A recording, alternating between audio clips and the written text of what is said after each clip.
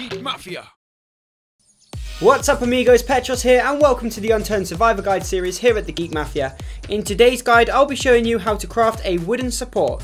Okay, so all you'll need to craft a wooden support are two sticks. Once you have the two sticks, place them into your crafting menu and that will output a wooden support. If you don't know how to get sticks or want to know how to craft them, click the link in the description below. Wooden supports are used to make wooden crosses and when used with other items will make a wooden pillar, a wooden ramp, a wooden doorway, a wooden window, a longbow and a barbed fence. Thanks for watching, I hope this guide proves useful to you. Let me know in the comments below what you think about the guide and if you feel I've missed anything out, make sure to like the video and subscribe to us to join the family and I'll see you next time. Peace!